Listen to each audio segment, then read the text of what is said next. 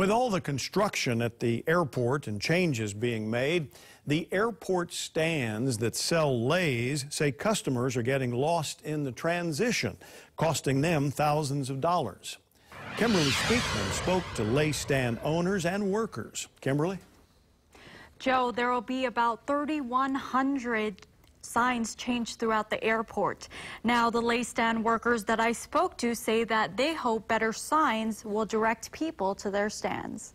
The lei stands in front of the airport have been around for decades, but workers say visitors and even locals are getting lost. They ask what happened to the signs. I mean, we don't, you know, we see the sign for rent a car return, but we don't see a sign for the lei stand. What happened?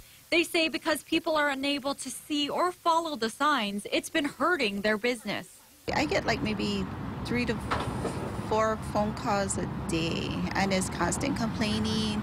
I get people from the mainland that calls me up and complaining because they, they don't want to pick up their order because they can't find us. One customer was so upset. He was, I think he was ranting about 10 minutes just to let let off steam. You know, it took me so long to get here, and I'm supposed to meet someone here. The Department of Transportation says change will be coming to the lei stand signs. The whole signage system is being changed out, including the lei stand signs. So um, they are in the process of being installed. Um, they will be put up, uh, including additional stands for the lei stands.